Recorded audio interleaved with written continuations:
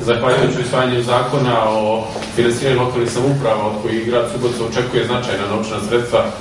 sledeće godine, možemo da obećamo da će građani stariji od 65 godina imati besplatan prevoz u vozilima Subotica Transa od početka nove godine. I zahvaljujem se na toj inicijativi gospodinu Stanku Nimčeviću i gospođi e, koja je predsjednica Gradskog udruženja penzionera nam ukazali na taj problem. A isto tako mogu da kažem da se Subotica pridružuje redu velikih gradova kao što su Beograd i Novi Sad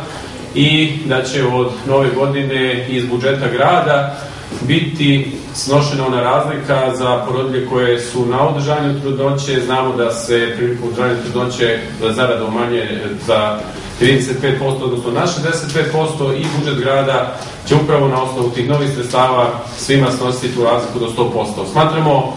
da je to svakako jedna od bitnih mera populacione politike, a s druge strane i ovo prvo što smo rekli smatramo da je bitno jer su penzioneri grupa o kojoj mi kao stranka socijaldemokratske orientacije svakako i preoshodno treba da brinemo.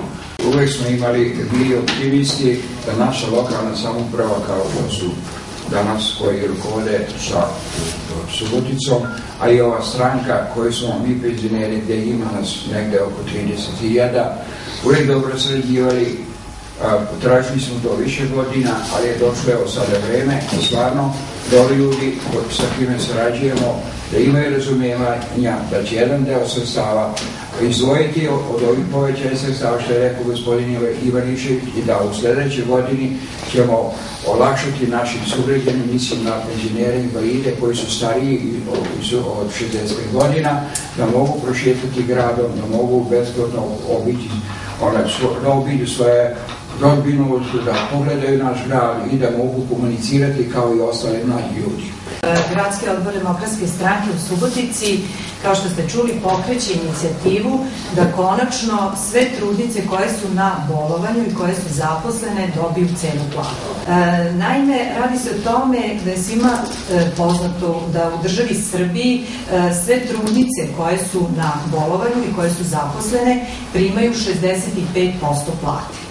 E, preostalih 35% nije moglo da se obezbedi iz republičkog budžeta. E, imamo statističke podatke da je u 2010. godini se rodilo 1551 beba, da je bilo 545 trudnica u istoj toj godini na bolovanju, a da je ove godine e, do kraja septembra meseca 379 trudnica na bolovanju koje su zaposlene. Demokratska stranka e, pokreće ovu inicijativu da se obezbede sredstva, da se nađe način da lokalna samuprava, odnosno grad Subotica, nađe način da dotira tih 35% do pune plate zaposlenim trudnicama koje su na bolovanju. E, Ideja je da grad Subotica pronađe način da taj oblik i da donese odluku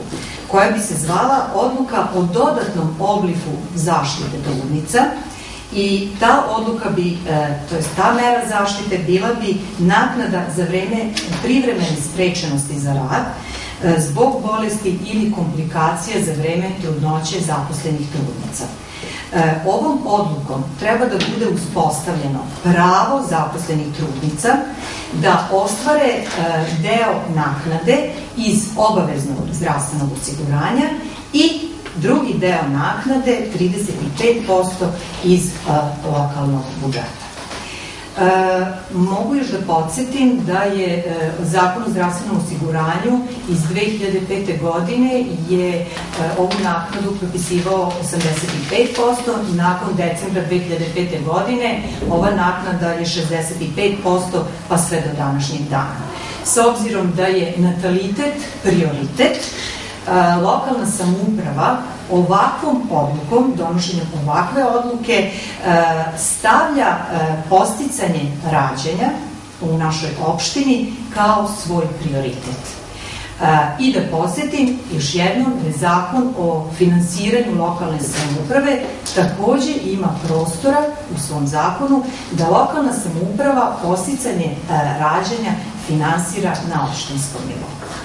Pozivam javno sve političke stranke koji čine gradski parlament da podrže ovu ideju. Ovo nije jedina ideja, bit će još ideja koja će direktno uticati na poboljšanje života građana. Naravno, e, odmah odgovaram svima onima koji pitaju, a što ste se tek sada setili, jer pretpostavljam da dežurnih e, ljudi koji u svakoj dobroj meri su spremni da pronađu i tako pitanje jeste da je zakon o lokalnim, o financiranju lokalnih samouprava tek sada stupio na snagu i da se ozbiljan transfer sredstava očekuje tek u narednoj godini, da se to prosto da su tek tada stvorile finansijske mogućnosti. Naravno, pozivam i kolege iz Sadržnika Mađara da nas podrže u ovoj meri, iako nisu podržali zakon, to izglasali su protiv zakona o dodatnom finansiranju lokalnih samouprava iz njima znanih razloga, ali pošto dokazujemo da taj novac koji će stići u lokalnu samoupravu hoćemo da potrebu isključivo za poboljšanje života najugroženijih kategorija, onda ih i na ovaj način, ne samo njih, nego i ostale opozicijone stranke pozivamo da nam se pridruže i pozivam ih po treći put javno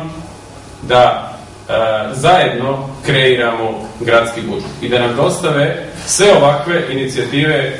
ukoliko ih imaju i obećavam da će svaka inicijativa koja se odnosi na poboljšanje života građana biti ugrađena, naravno ukoliko je na realnim osnovama, biti ugrađena u budžet grada. Pomenuli ste već podatke, da li ste napravili računicu koliko bi sredstava trebalo da se izdvoji za, za ona dodatni deo e, plana? Jeste, mislim imamo neku već računicu, znači uzeli smo sve podatke e,